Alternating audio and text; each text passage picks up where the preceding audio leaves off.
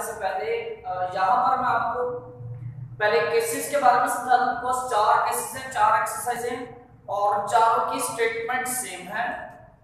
फिर, लेकिन question solve करने में थोड़ी थोड़ी सी चेंजिंग आती है। तो हमने किस क्वेश्चन को कैसे सॉल्व करना है? जब केस आपने समझोगे तो फिर आपको समझ आएगी। देखो बेटा, सबसे पहले आपको कुछ चीज़ें रिवाइज करवा दूँ। लीनियर फैक्टर्स क्या होते हैं और क्वाड्रेटिक फैक्टर्स क्या होते हैं?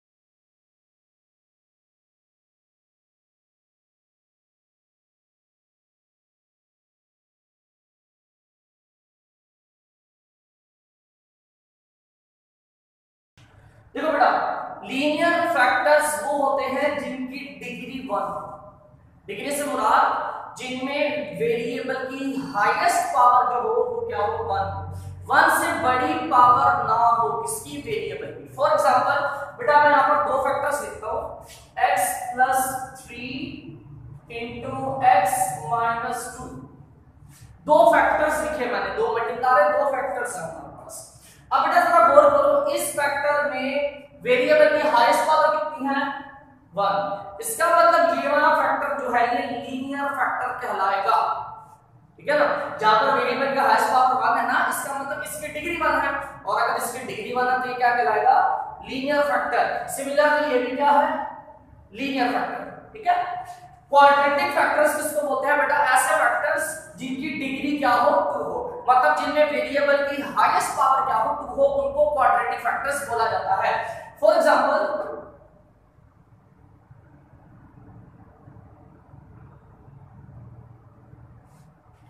यहाँ पर भी मैंने दो फैक्टर्स लिखे ठीक है ना? अब इस फैक्टर की बात करेंगे तो बेटा यहाँ पर वेरिएबल की हाईएस्ट पावर क्या है? टू इसका मतलब इस फैक्टर की डिग्री टू है। और इस फैक्टर में भी वेरिएबल की हाईएस्ट पावर टू है मींस कि इस फैक्टर की भी डिग्री क्या है टू ठीक है ना? इसकी डिग्री टू है, इसका मतलब ये क्वाड्रेटिक फैक्टर है और ये भी क्वाड्रेटिक फैक्टर है। ठीक हो गया? अब क्वाड्रेटिक फैक्टर्स की बेटा दो टाइप्स होती है।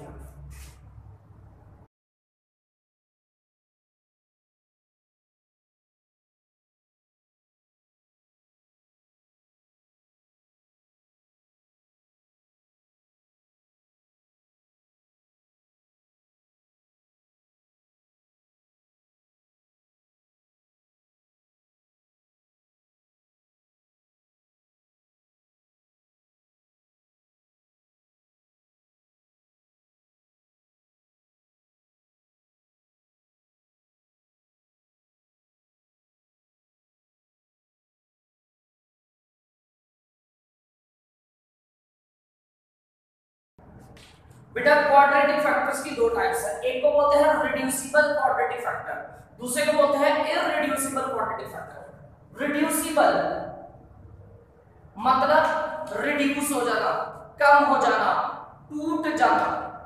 मतलब बेटा देखो, ये एक क्वाड्रेटिक फैक्टर है, x square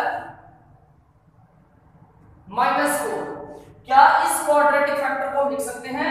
x plus two into x minus two लिख सकते हैं ना? कैसे? बेटा, ये फोर टू का स्क्वायर बनेगा ना?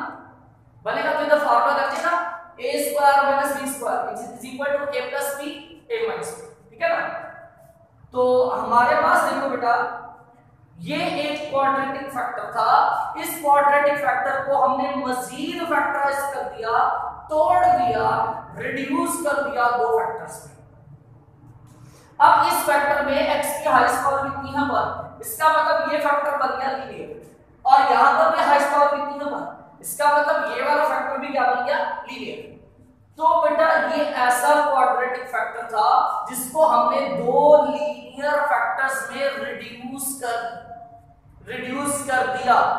तो ऐसे क्वाड्रेटिक फैक्टर को बोला जाता है रिड्यूसिबल क्वाड्रेटिक फैक्टर जबकि इसकी बात करते हैं रिड्यूसिबल जो रिड्यूस हो रहा है लीनियर में लीनियर फैक्टर्स में। इररिड्यूसिबल जो लीनियर फैक्टर्स में रिड्यूस ना हो। For example x square plus two क्या फैक्टराइज होगा? बेटा नहीं होगा। ठीक है ना? अगर हम टू की जगह फोर लिख लेना तब भी ये फैक्टराइज होगा बिकॉज़ दरमियान प्लस का फॉर्मूला हमने नहीं पढ़ा हुआ, होता ही नहीं। तो ये फैक्टराइज नहीं होगा तो हम क्या लिखेंगे? नो फैक्टर्स तो बेटा, ऐसा क्वाड्रेटिक फैक्टर जिसको आप मजीद फैक्टराइज ना कर सको, उसको इररिड्यूसिबल क्वाड्रेटिक फैक्टर बोलते हैं। और ये वाला क्या कहलाता है रिड्यूसिबल क्वाड्रेटिक फैक्टर मैंने तीन तरह के फैक्टर्स पढ़ा दिया आपको। Linear factors reducible quadratic factors और इररिड्यूसिबल क्वाड्रेटिक फैक्टर्स तीन तरह के हमने फैक्टर्स अभी स्टडी किए और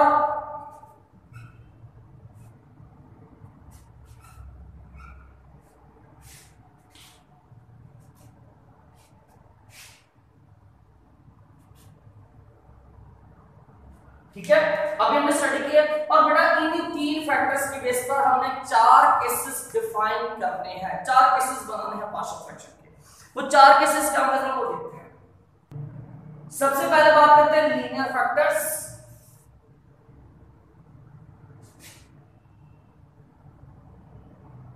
लीनियर फैक्टर्स या फिर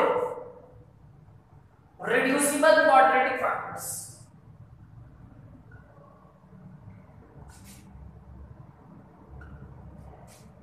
लीनियर के साथ हम रिड्यूसिबल क्वाड्रेटिक फैक्टर क्यों ले रहे हैं बिकॉज़ ये ऐसे क्वाड्रेटिक फैक्टर्स होते हैं जिनको फैक्टराइज करके लीनियर में कन्वर्ट कर देते हो। मसलन अगर हमारे पास रिड्यूसिबल क्वाड्रेटिक फैक्टर आ जाए, x स्क्वायर तो क्या हम इसको लीनियर फैक्टर्स नहीं बना देते? बना सकते हैं ना? इसके बिना हम लीनियर फैक्टर्स या फिर रिड्यूसिबल क्वाड्रेटिक फैक्टर्स को इकट्ठा स्टडी करते हैं। बिकॉज़ ये एक ही चीज़ में काउंट किए जाते हैं। अब इन दोनों के ऊपर। दो केस बन रहे हैं। केस वन केस टू बेटा केस वन में भी हमारे पास लीनियर फैक्टर्स होंगे या फिर रिड्यूसिबल क्वाड्रेटिक फैक्टर्स होंगे। केस टू में भी हमारे पास लीनियर फैक्टर्स होंगे या फिर रिड्यूसिबल क्वाड्रेटिक फैक्टर्स होंगे। सेम सेम चीज़ होंगी, दोनों केसेस फिर इन दोनों में फ़र्क क्या है? डिफरेंस क्या है? जरा उसकी बात कर लेते हैं।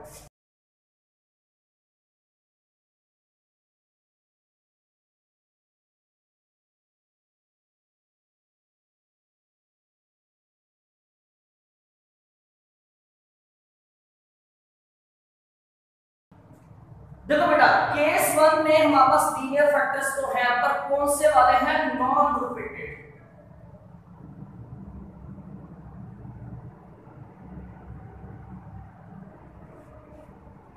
केस वन में हमारे पास लीनियर फैक्टर्स होंगे और कौन सा वाला होंगे? नॉन रिपीटेड लीनियर फैक्टर्स जबकि केस टू में भी हमारे पास लीनियर फैक्टर्स होंगे, पर कौन से वाले? रिपीटेड लीनियर फैक्टर्स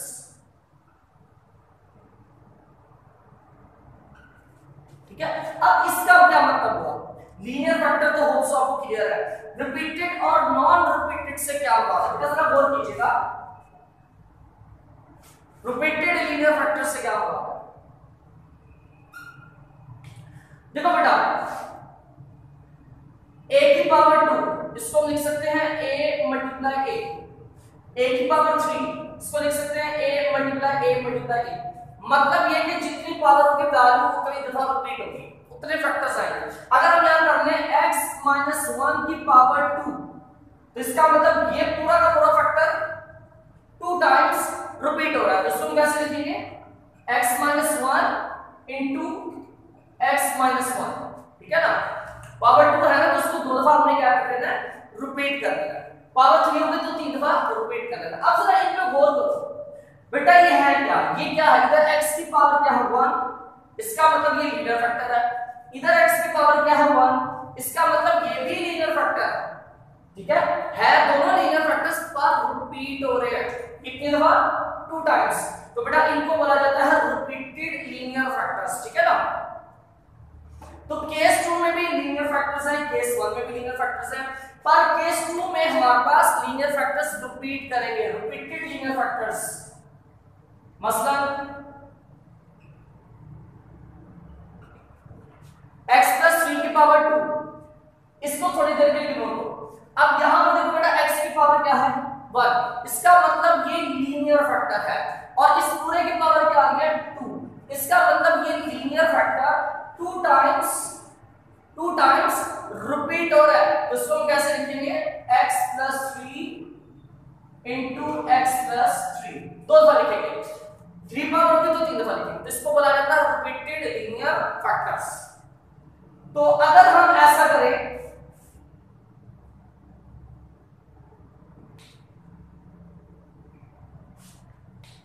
यहाँ पर हम लिखे x प्लस थ्री ये भी लीनियर फैक्टर है, क्योंकि यहाँ पर x की पावर क्या आ गई वन ठीक है ना?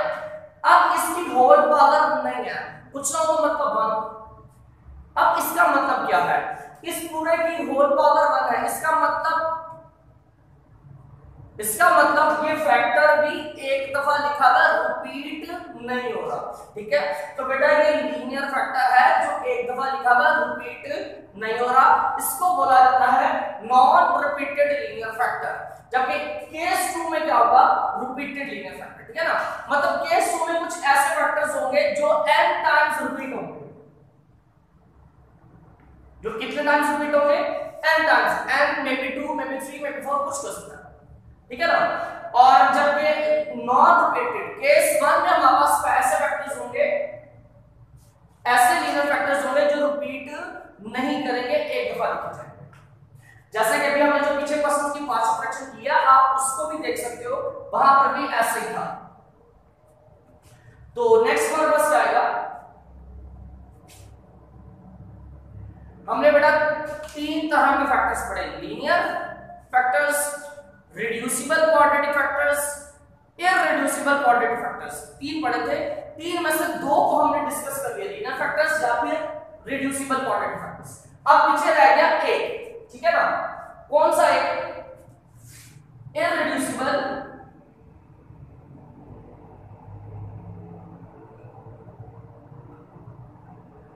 क्वाड्रेटिक फैक्टर्स अब बेटा, इसमें हमारे दोनों केस आ गए केस थ्री भी आ रहा है केस फोर भी आ रहा है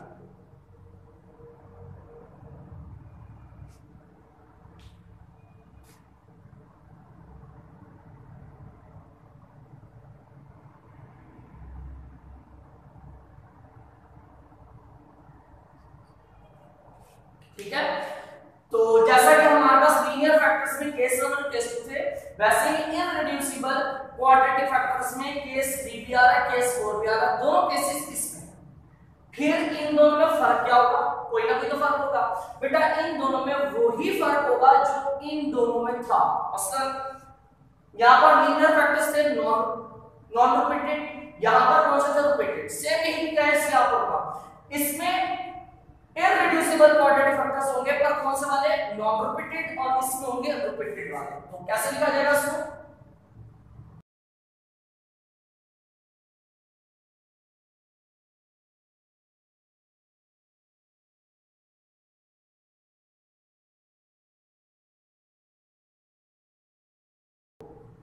ठीक है ना?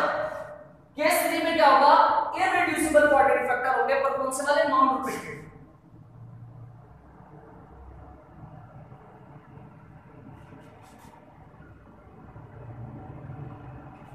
ठीक है फैक्टर्स इसमें होंगे केस थ्री में मसलन for example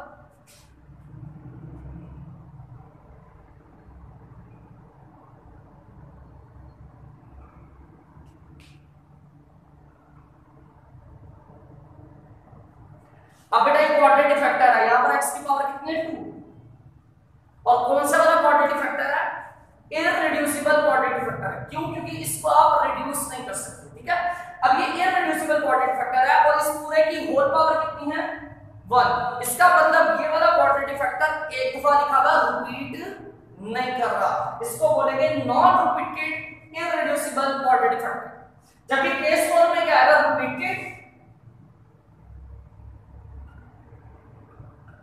irreducible quadratic factor ये आ जाएगा किसमें? केस फोर पे अब इसमें क्या होगा? मसलन एग्जांपल अगर देखिए जाए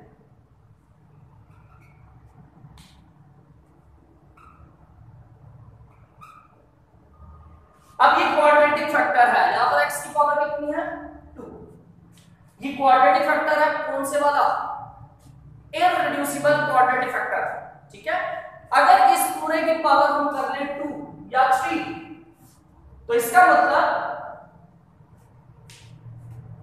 ये irreducible quadratic factor three times repeat हो रहा है। तो इसको बोला जाएगा रिपीटेड इररिड्यूसिबल क्वाड्रेटिक फैक्टर जबकि ये क्या है? Non repeated irreducible quadratic factor ठीक है ना? मसलन बेटा जहन में रखना केसेस जो है ये हमेशा डिनोमिनेटर से देखे जाएँगे।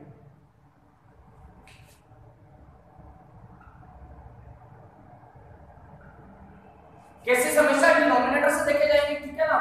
और डिनोमिनेटर से अंदाज़ा होगा कि ये कौन सा केस बन रहा है। फॉर एग्जांपल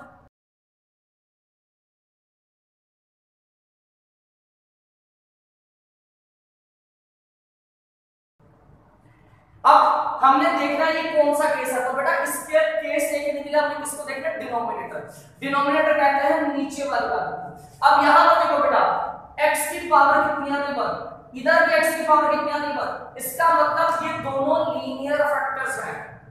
अगर ये लीनियर फैक्टर्स हैं तो मतलब यहाँ पर केस 1 बन रहा है या 2 बन रहा है? ठीक है ना? अब इस लीनियर फैक्टर की होल पावर क्या है? 1 इसका मतलब ये एक दफ़ा हुआ रिपीट नहीं कर। इस लीनियर फैक्टर की होल पावर क्या है? 1 इसका मतलब ये भी एक दफ़ा लिखा हुआ है रिपीट नहीं कर। रहा तो इनको हम क्या बोलेंगे? नॉन रिपीटेड लीनियर फैक्टर्स इसका मतलब ये जो क्वेश्चन है, ये किस केस में से है? केस वन में से। अगर मैं इसको यहाँ पर ऐसे करूँ।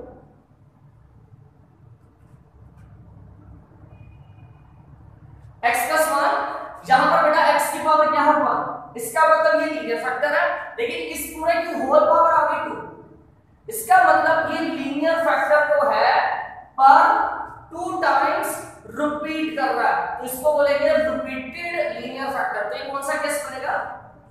Case two repeated linear factor इसको कैसे सॉल्व कर रहे हैं ये भी हम देखेंगे नेक्स्ट लेक्चर में। थोड़ी सी चेंजिंग है इसमें ठीक है ना?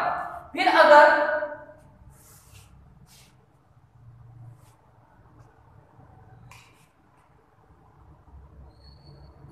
ये ऐसे आ जाए वापस।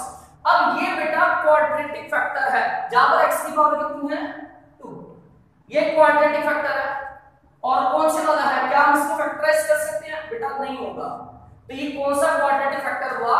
इररिड्यूसिबल क्वाड्रेटिक फैक्टर कौन सा फैक्टर हुआ? इररिड्यूसिबल क्वाड्रेटिक फैक्टर अब इसमें हमारे पास दो केस है केस 3 और केस 4 ये कौन सा केस होगा? बेटा देखो, इस इररिड्यूसिबल क्वाड्रेटिक फैक्टर की होल पावर क्या है? 1 इसका मतलब ये वाला जो क्वाड्रेटिक फैक्टर है, ये एक दफ़ा लिखा हुआ है रिपीट नहीं कर रहा, इसको बोला जाएगा नॉन रिपीटेड जो रिपीट नहीं कर रहा non repeated irreducible quadratic factor ठीक है?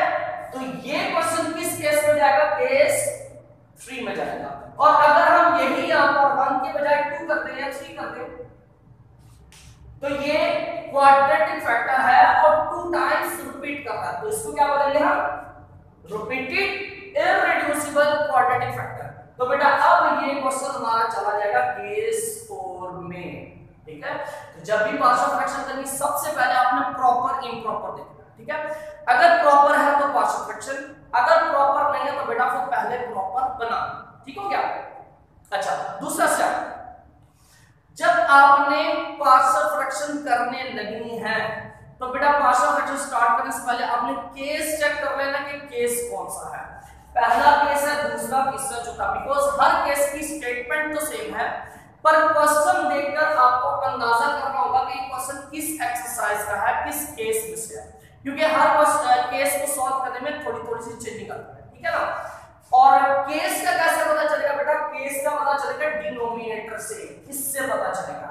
अस्सलाम